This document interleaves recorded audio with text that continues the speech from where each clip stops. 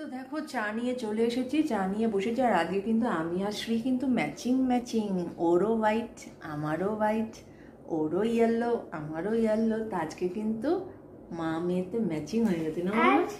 ও দেখো কালকে একটা ওই যে নেল পলিশের কথা বলছিলাম না? দেখো এই কালারটা কিনেছি। ভালো লাগছে না? নাইস কালার না?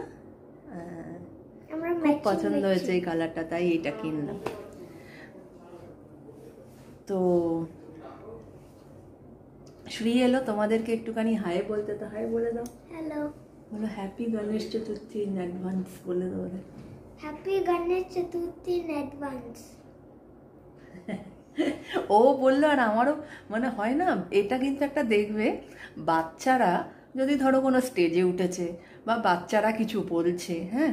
মা হয়তো সামনে মা বাবারা সামনে বসে আছে তো তো ধরো বাচ্চাকে কেউ কিছু প্রশ্ন করেছে বা বাচ্চা কিছু একটা বলছে দেখবে অটোমেটিক মারও কিন্তু মুখটা নড়তে থাকে। মানে বাচ্চা ঠিক বলছে তো মানে ওটা একটা এক্সাইটমেন্ট চলে। ওটা যে মারও মুখটা নড়ছে। তাই আমি দেখলাম ও হ্যাপি গণেশ চতুর্থী বলল আমি উম করলাম। মানে মানে আমিও মানে মনে মনে বললাম যে ও ঠিক বলছে তো ব্যাপারটা মানে এইরকম বুঝেছ? তো যাই হোক চা খেয়ে নিই চা ফা খেয়ে নিয়ে তারপর আবার আসছি তোমাদের সামনে।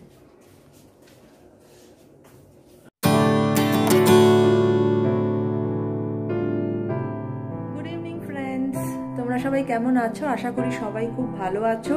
কালকে তো পুজো, নিশ্চয়ই সবাই খুব ব্যস্ত, বাজার হাট করতে বা ঠাকুর আনতে। তোমরা তো দেখলেই যে কালকে আমার বাজার হয়ে গেছে বা ঠাকুরও আনা হয়ে গেছে। তো এই দেখো, এখানে সব কিছু রাখা আছে। এই যে এই জায়গাটাতে সব কিছু রাখা আছে। তো সকাল থেকে ব্লগে আসতে পারিনি বা করতে পারিনি। এখন এই পুরো জামা কাপড় চেঞ্জ ফেঞ্জ করলাম, করে এখন যেটা করার কাজ আছে সেটা হচ্ছে ঠাকুরের বাসন বার করব। কালকে তো একটু ভোগ করব, তো ভোগের বাসন তো আমার আলাদা আছে, সেই বাসনগুলোকে আমি একটু বার করে রাখব।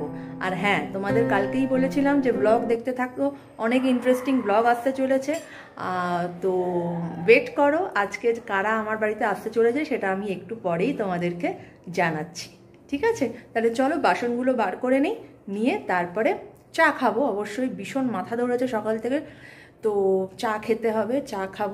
তো চা খেতে খেতে যদি পারি তো আসছি আর না হলে যখন ওরা আসবে তখন আবার ওদেরকে নিয়ে তোমাদের সামনে আমি আসব।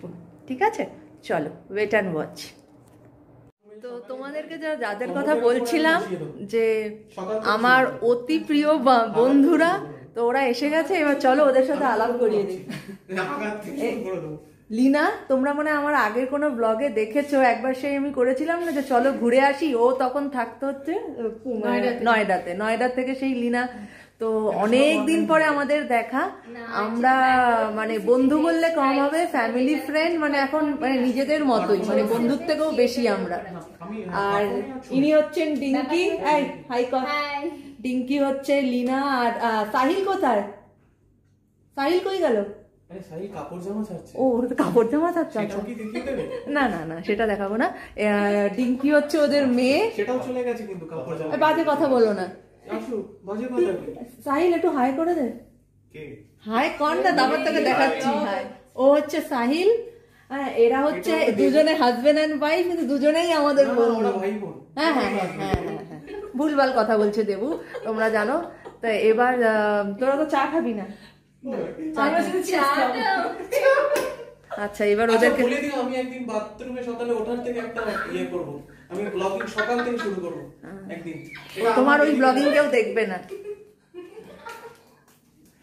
চলো। চলো ওরা এই যে ওরা চিপস হ্যাঁ? ওরা চিপস এনেছে এখন চিপস খাওয়া হবে চিপসের পর্ব। তো আর আজকে আমাদের রাতের ডিনার হচ্ছে, আমি এই ছোলে বানিয়েছি। আর এই আইডির পরোটা আনানো হয়েছে। তো পরোটা, ছোলে, আর তার সাথে হচ্ছে তোমার সুজি। তো চলো দেখতে থাকো, আরও আরও অনেক কিছু আসছে। তো এখন ওদেরকে একটুখানি দিয়ে দেই, একটু চিপস টিপস দিয়ে দিই, তারপর আবার আসছি। তো দেখো এখন আমাদের ডিনার টাইম এখন এই যেটা বললাম আইডির পরোটা, সেটা এখন আমাদের শেখা হচ্ছে, আর এখানে আমার আছে দেখালামই তখন তোমাদের ছোলে বানিয়েছি, ওই চানা। তো, আর এখানে এখন লিনা লিনা কিন্তু দারুণ রান্না করে, ফাটাফাটি রান্না করে লিনা। দেখতে কত সুন্দরী দেখতেই পেয়েছ আমার বন্ধুকে। ও এখন আমাকে এখানে হেল্প করছে, ঘি ফি ঢেলে দিচ্ছে।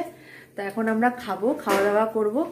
তো চলো, আর আজকে ব্লগটা তাহলে আমি এখানেই শেষ করছি, কেননা বহুদিন বাদে দেখা হয়েছে তো, তাই একটু গল্প গুজব করব। তো আজকে এখানেই রাখছি, কালকে আবার একটা নতুন ব্লগ তোমাদের সামনে আসব। বলে?